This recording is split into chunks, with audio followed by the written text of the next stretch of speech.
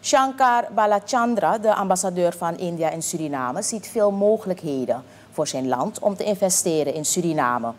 Hij sprak dinsdag tijdens een presentatie met als titel India means business. De diplomaat merkt op dat India een van de grootste economieën ter wereld heeft en er flink gebruik gemaakt kan worden van samenwerking op verschillende handelsvlakken. There are about 2000 WOSE cardholders in Suriname. With the supply chain disruption, there is a realization among the business community to diversify the source of supply and also investment. India is ideal place as you will discover after this presentation and question and answer. I wholeheartedly thank Dr. Manon for agreeing to make available his expertise. I stop here about these guest speakers as MC will introduce them formally.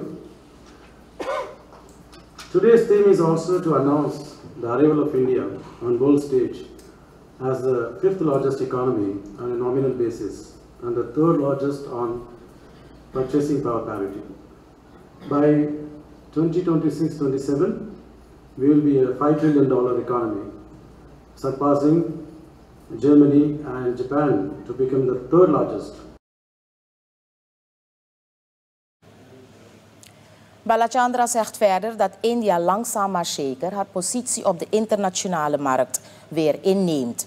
De bilaterale banden tussen Suriname en India zouden daarom versterkt moeten worden. As I say this, let us not mistake India as an upstart. India, for the most part of the last decade millennia, commanded 30% of the world's GDP and is slowly and steadily retaking a position. We have bounced back from a minus 7% GDP during the COVID time to register over 8.7% in 2021 and are expected to retain the highest growth for a large economy for many years to come to top the world's ranking once again.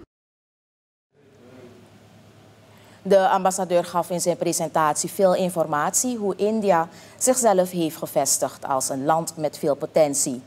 Hij verduidelijkt dat de groei van handel met buitenlandse partners zich rond 2030 zal ontwikkelen tot miljardenindustrie.